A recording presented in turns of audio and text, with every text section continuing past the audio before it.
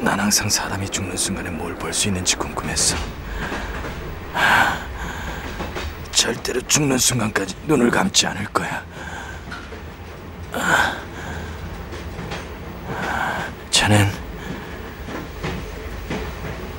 생을 마감할 때 뭐가 보고 싶어?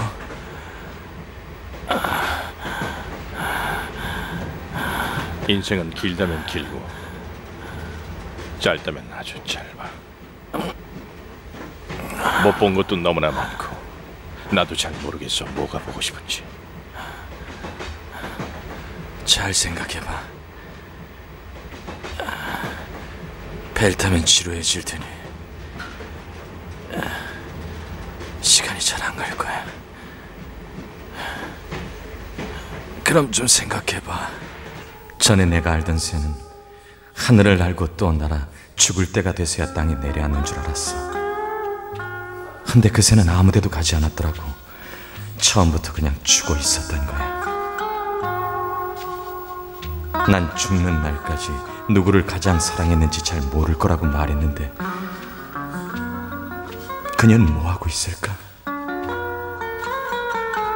아, 날이 밝아 오늘. 오늘은 날씨가 유난히 좋은 것 같아. 해질녘 노을도 아름다울까? 내 기억에 그녀를 마지막에 만났을 때 한 가지 물어봤던 것 같은데 그래. 혹시 기억해? 작년 4월 16일 오후 3시에 무엇을 했는지. 그걸 왜 묻지? 아니, 친구 하나가 가끔 내 기억력을 테스트했어.